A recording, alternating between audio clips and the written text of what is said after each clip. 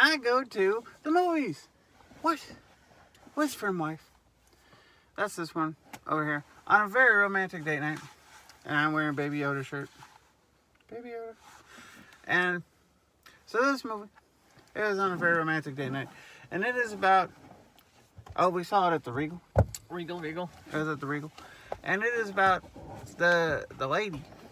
And it's over in Africa. The woman's. And, and the name of the movie is The Lion King. Oh, that's not the name of the movie. The movie is about uh, a female's king. The woman's king. The king's woman. No, that's no, different. that's different. Mm. The woman That's king. different. Yeah. So, what? ah. And then, so, so this movie, it is about the the lady. I think her name is is Violin Davison, and she Viola Davis. Yeah, and there were many other actors and actresses in this movie. I did not know most of their names. So this movie, it's about now. This isn't an exact. It's Like, not based on a true It's story. not based on a true story. it's inspired but- by true events. but it's inspired by or something. events that were not connected in history. But they took liberties. Of lots is what liberties. is what I've read. So the movie it is about the the tribe and they have woman warriors. What? Out of nowhere. If you could ever even believe it, it totally shatters the patriarchies. Which is what we're into these days. so yeah. Uh-huh. And the movie is also about an unfortunate time in history where there were slaves. This is a And- large part of history, really. Oh yeah. many, many years. But specifically the time when everybody's like, you know who would be good slaves? Those people in Africa. They seem to have a lot of them down there. And you know, they're not really wearing any clothes, so we can make them slaves. That's generally what white people do. We're like, anybody wearing less clothes than us should be a slave. It's kind of true. so, so, but this is actually about, uh, there are some Europeans. It's kind of interesting. There's a white guy, and then he has like a friend. They're not really Europeans though. There's it said they're from South America, What? but you know, colonies from Changing it up. European people, colonies in South America. But one of the guys, he's uh, he's half white and half black, and it just so happens that the half black part of him was from this tribe with the woman warriors. What? What? That's not really a spoiler. It's just uh, a data point. So, uh, yeah. So, there's these bad guys. They're they're an African tribe also, and they're like, you know what we're gonna do? We're gonna kidnap a bunch of other people from Africa and sell them to this white dude on a boat. If you can even believe it. The gall of some people. And then, so they're real scary and they have horses. and the other guys, they don't have horses on account of the Europeans didn't give them horses because they weren't, you know, buds or whatever. So, the movie, there's kind of a couple things going on here. Basically, this one tribe, the one with the women warriors, they're like, they're like a pretty good civilization. They got like a big city and all that. They have their king and because of the way their gods are set up, they can have they're supposed to have a woman king and a man king, that sort of mm-hmm. thing. So mm-hmm. the whole movie is kind of like they're decide there's been recently been a new man king. So then it's like deciding who's going to be the new woman king, that sort of thing. So that's not to say cuz it's spoiler. I didn't mention it. Yeah, so there's this thing where the woman warriors, there's a couple different ways you can like join the like woman army or whatever. One of the main characters, her dad's like, "You're ornery. I'm gonna take you them because I can't even get any guy to marry you because on account of the orneriness." That was aforementioned. And the, She refused to tolerate abuse well, yes, otherwise known as ornery in that culture. in that culture, yeah. So, he So just dropped her off at the king's house Yeah. and said, "You handle Yeah, her. She, you take her." She, she can be one of your warriors." Yeah, so And the other way is um, you're rescued, kidnapped person from another tribe. Yeah, so let's just talk about how a large part of this was how the different tribes enslaved each other. Yeah, and even like the main tribe with the he's like he uses his own people as bartering chips too, Mm-hmm. that sort of thing. And you know his people are like, you know, why don't we just like sell olive oil and stuff? Palm oil. Yeah, Mm-hmm. the palm oil.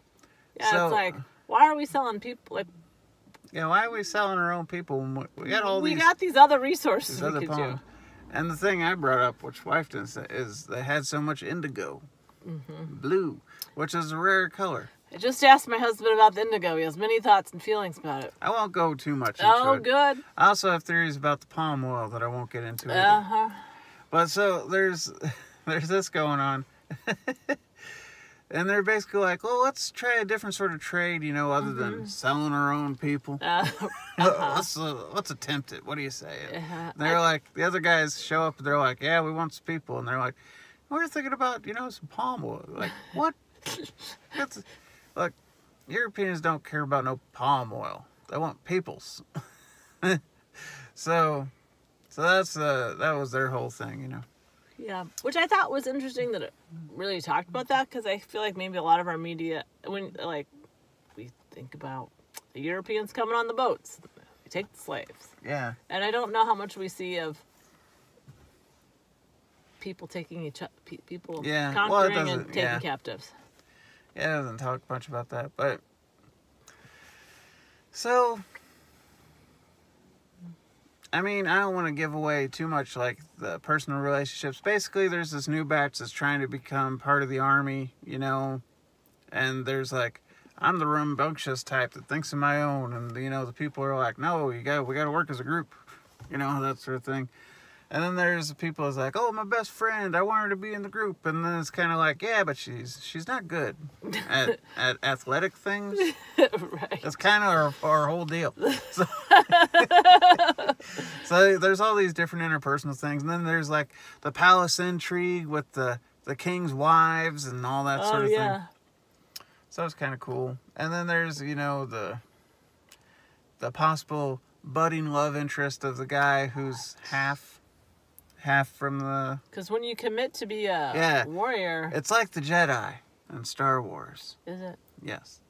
You're not allowed to dangle your dangles if you're a Jedi or a woman warrior. Apparently. So there's that. But basically, There's that.